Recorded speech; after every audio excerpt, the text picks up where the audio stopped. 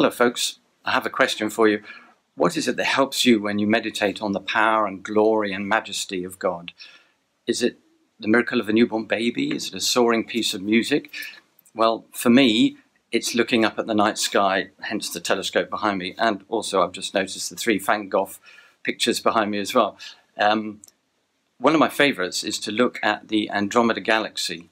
Now, this is a galaxy of, of billions of stars. Uh, it just is a very faint grey smudge in the sky if you know where to look at for it.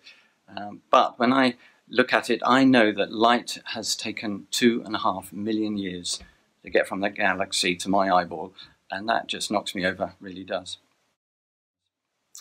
Even in the Bible, uh, people were aware of the stars, and Job, even in his suffering, found that thinking about the stars and the Creator God who made them encouraged him. He says this God's wisdom is profound, his power is immense.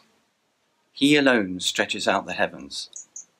He is the maker of the Bear, a constellation, and of Orion,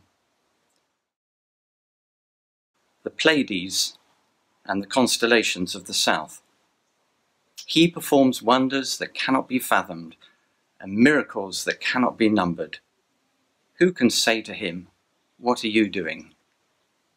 Job was suffering badly with sores from head to toe, but he found that looking up at the night sky put things in perspective, and he could meditate on the greatness of his Creator God.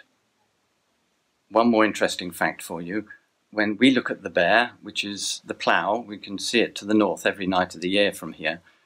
Uh, the light of some of those stars has taken three to four thousand years to reach us, which means that we're actually seeing those stars as they were at the time of Job. God performs wonders that cannot be fathomed and miracles that cannot be numbered. Next time you look out at the stars, I hope it'll help you worship God.